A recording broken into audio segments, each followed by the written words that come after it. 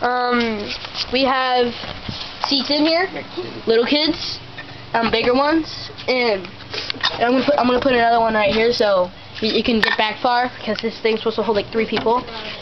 So you see, you sit in. See, this is what it looks like. You sit in here. You, pull it back as far as you can. It launches. Hopefully, it doesn't hit up here because it hurts. It's like 300 FPS, maybe, because if you put a lot of BBs in it, right? Yeah, about 300 FPS, and but you got to put your feet here, and then you pull it back. Mom's doing it one-handed, but it's pretty fast. We got a Jaws my sister made over there, which is retarded.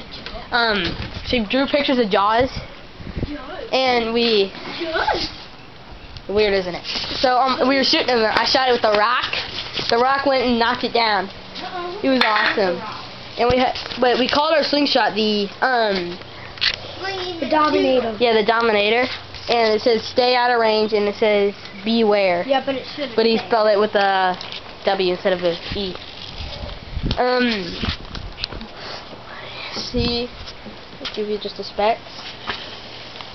There. Got it hooked up. We'll show you the finish of the video when we're done.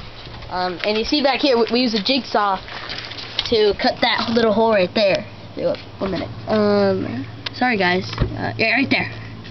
Yeah, we used that. It was awesome.